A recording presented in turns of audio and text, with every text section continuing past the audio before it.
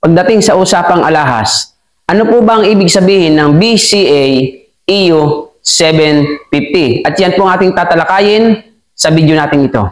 Lamang ang may alam.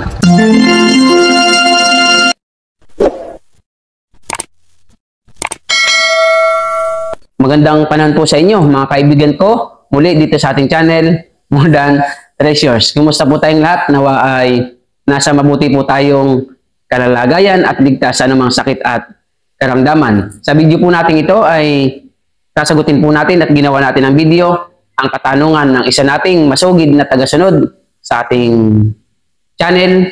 Ang sabi po niya ay totoo daw po ba kung white gold ang kanyang alahas na bracelet. Ito po yan, oh. So sa mga nagre-request, sa mga nagtatanong po ng ganyang mga bagay, hindi ko na po babanggitin ang inyong mga pangalan at hindi ko na rin po ipapakita ang inyong mga profile picture dahil hindi naman din ako nakasisiguro kung yan po ang inyong real account.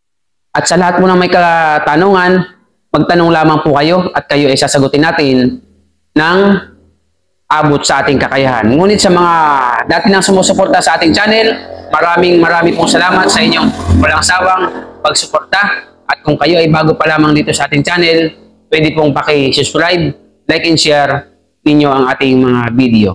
So ang ating pong topic ngayon ay ang ibig sabihin po ng tatak na BCA EU 750. So ito po yun. Ang kanya pong alahas na white gold bangle ay may tatak po na BCA EU 750. At ito po ay kulay white. So ano po ba ang meaning o ibig sabihin ng BCA EU 750? Unahin po natin yung BCA. Ito po. BCA. Pag sinabi pong BCA, iyan po ay pangalan ng kumpanya o company na gumawa po ng alahas na yan. Ibig sabihin po ng BCA ay company name na ang kahulugan po ay Van Cleef and Arpels. So, ibig sabihin ang gumawa po ng iyong alas na bangle white gold ay ang company ng Van Cleef and Arpels. At alam niyo po ba na ang company pong yan, iyan po ay luxury brand.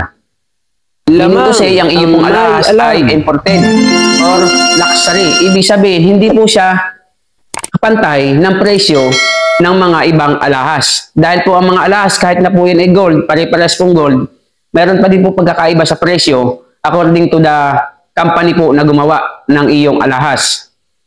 Okay? At ang iyo pong alahas ay ginawa ng Van Cleef and Arpels. Ibig sabihin, medyo mas mahalaga po yan sa ibang alahas sapagkat luxury brand ang gumawa po ng iyong alahas.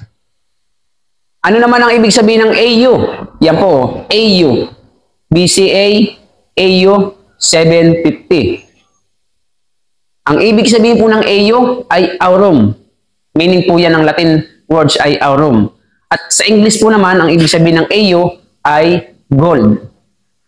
Kaya po ang ibig sabihin ng AU ay gold. At ang kahulugan naman po ng 750 ay 18K. Kaya po ang ibig sabihin ng iyong alahas ay AU 750. Ibig sabihin gold 18K ang AU pong alahas. Sapagkat ang ibig sabihin po ng AU ay precious metal at ito nga po ay ang kahulugan ay ginto or gold. Ang ibig sabihin naman ng 750, ito po ay code number o karat ng iyong alahas na ginto na ang ibig sabihin po ay 18K.